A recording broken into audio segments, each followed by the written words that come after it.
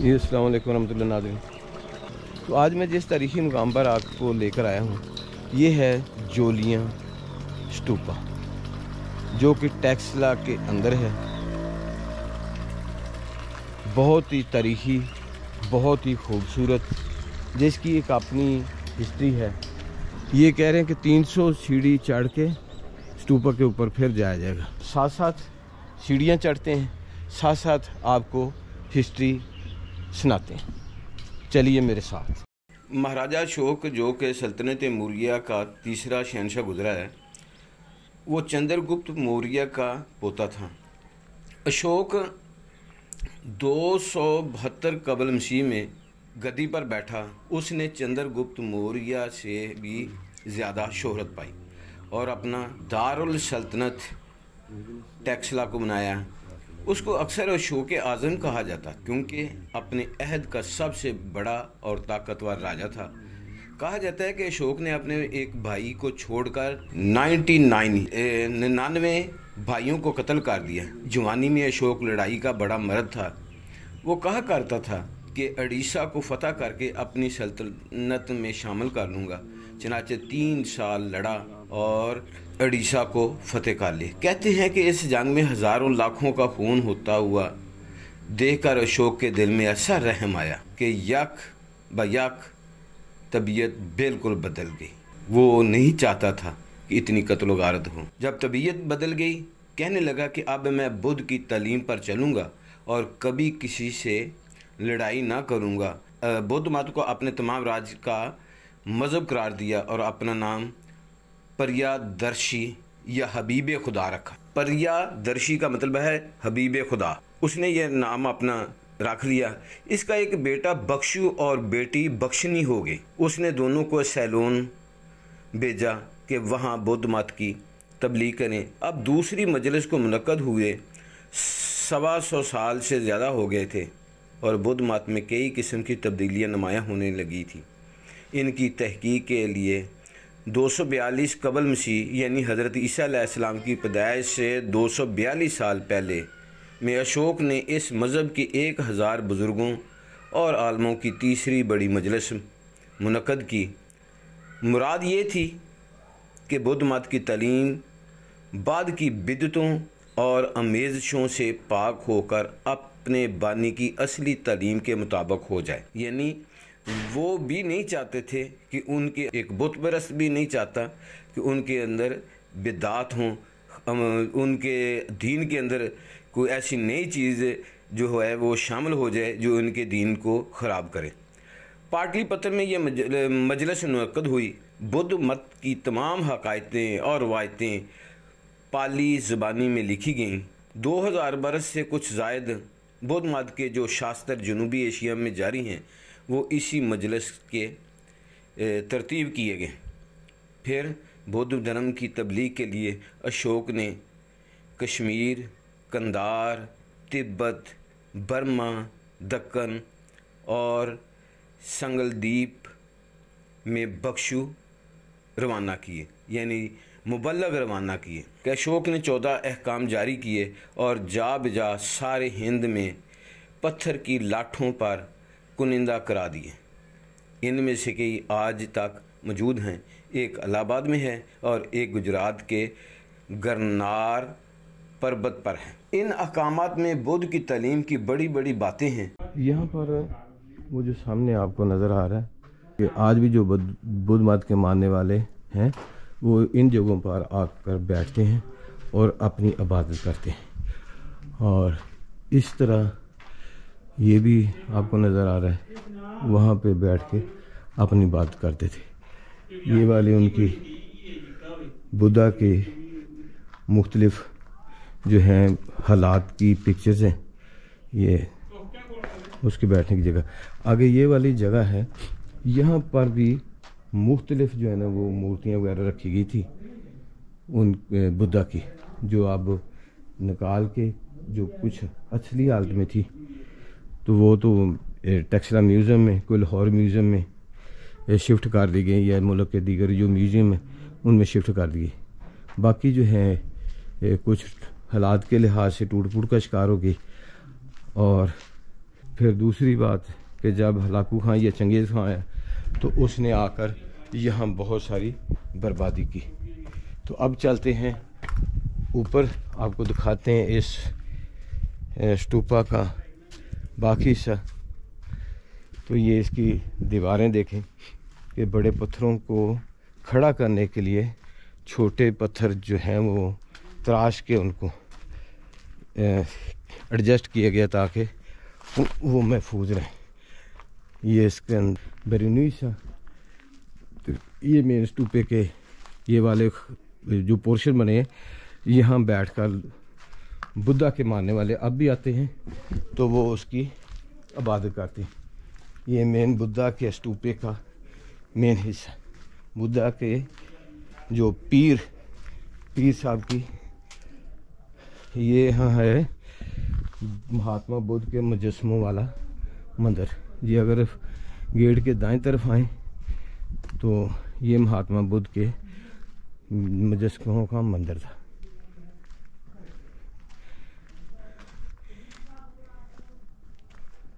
जिस जगह मैं खड़ा हूँ, ये दर्शगाह का तालाब है और साइडों पे जो आपको कमरे नज़र आ रहे हैं, ये तुलबा के रहने के लिए कमरे बनाए गए थे। ये टोटल छप्पन कमरे थे।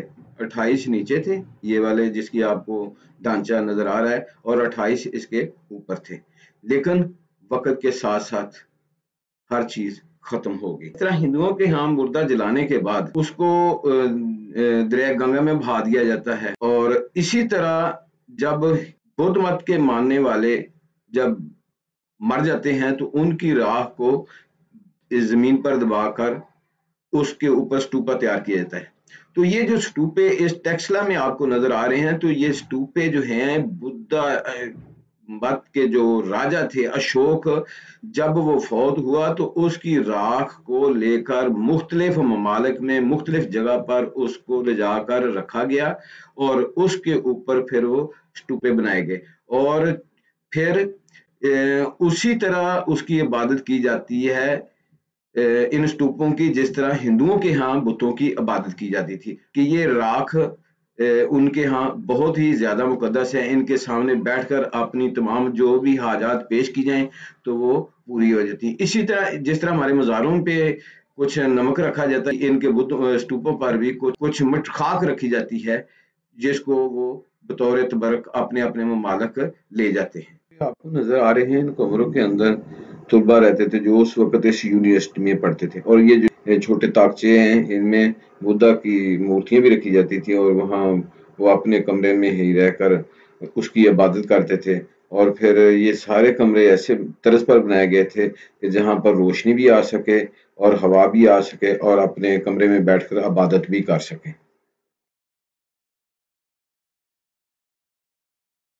और यहाँ मंदिर था कमरा नंबर आठ के अंदर। यहाँ पर इसकी मुख्तलिफ़ मूर्ति थी सीढ़ियाँ ऊपर जाती हैं ताकि जो ऊपर वाले कमरे हैं उनमें जाया जा सके। तो ये देखें ये सीढ़ियाँ और ये दीवारें सारे पत्थरों के साथ ही बनाई गई हैं। ये कुछ साथी अपना फ़ोटो ले रहे हैं। ये देखें इनके जो है ना वो छातीस कमरे की तो नज़र आ रही है। बाकी की भी जो है इसी तरह। आप कहाँ से आए इधर से वाकैंड से। वाकैंड से? जी।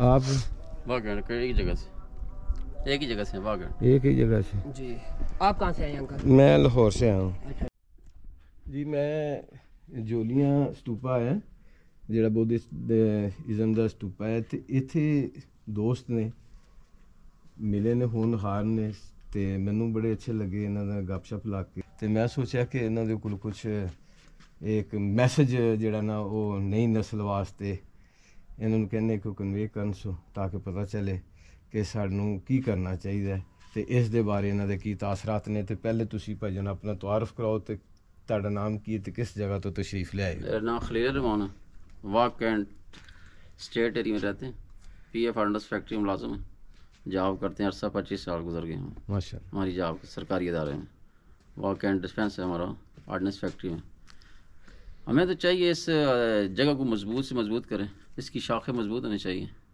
आर साहब से। क्या ख्याल है? और गवर्नमेंट को भी चाहिए इस, इस जगह पर तवज्जो दे। सही। और पुरानी जो नस्लें हैं वो तो करती रही हैं। हाँ जी। जो नई जनरेशन आ रही है उसका काम भी बनता है कि इस जगह को आबाद करें सैर तफरी के लिए करें। पुरानी यूनिवर्सिटी है ना यूनिवर्सिटी के नाम से बिल्कुल मशहूर है। यूनिवर्सिटी के लिहाज से यूनिवर्सिटी के हिसाब से मशहूर है। तो इसलिए हमें विज़िट भी करनी चाहिए और इस पर गवर्नमेंट को काम भी करना चाहिए। अव्वल तो पहली बात यह है कि यहाँ ओपन मेरिट होना चाहिए। बिल्कुल ओपन होना चाहिए। हर आदमी के लिए आना जाना फ्री होना चाहिए।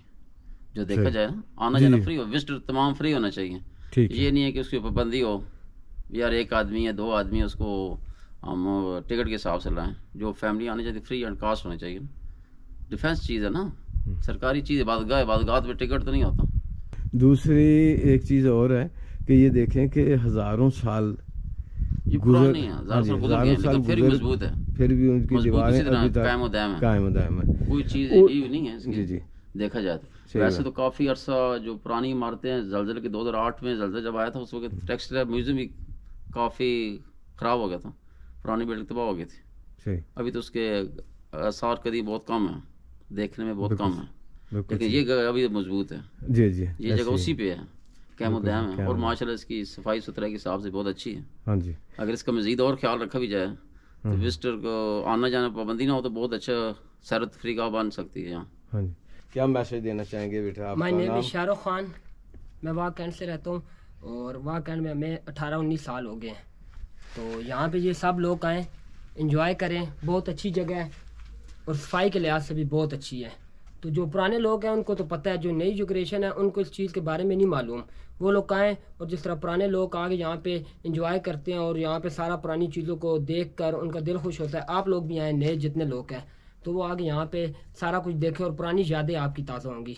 जिस तरह आपके दादा की नाना की इस तरह की जो यादें सारी, वो लोग क्या पता यहाँ पे पढ़ते हो। ये स्टूपे जो है, वो ज़्यादातर पहाड़ी एरिया में ही है। मैं सुबह से निकला हूँ विज़िट कर रहा हूँ तो जिस जगह पे भी गया हूँ जहाँ भी बाइक खड़ी की है तो मैंने हेलमेट का बैग का मेरा बैग भी पीछे काफ़ी सामान भी तो जिससे भी बात की है तो उसने कहा जी आप बिला झिझक सामान भी इधर छोड़ जाएँ बाइक भी छोड़ जाएँ हेलमेट भी छोड़ जाएँ। बगैर परेशानी के जहाँ जाना चाहते हैं आप घूमें एक चीज़ भी आपकी गुम नहीं होगी। जी बिल्कुल आपकी बात तो मेरा बड़ा दिल खुश हुआ। अल्लाह ताला हमारे ईमान में जो है वो इसी तरह इस्तकामत पैदा करे कायम दायम रखे इसी हालत में दुनिया में लेके जाए। जी। बड़ी खुशी हुई यानी खान से मिलके। ये अलग बात है। जज्बात उसी शाहरुख खान वाले चेहरा बोरा है लाइफ स्टाइल वही है लेकिन अलग बात है ये टे- अ, वाह कैंट वाह का कैंट में रहते हैं। है? वो इंडिया में रहता है वो इंडिया में आप रहता हूँ। वाह कैंट में रहते जी। हैं। नाजरीन, मेरी ये आज की वीडियो आपको पसंद आई होगी। आपसे इल्तमास है, मेरे चैनल को सब्सक्राइब करें, बेल आइकन को प्रेस कर दें ताकि मेरी आने वाली हर नई मालूमती, तारीखी वीडियो आप तक पहुँच रहे। फिर मिलेंगे एक नई वीडियो के साथ। तब तक के लिए अल्लाह हाफिज़।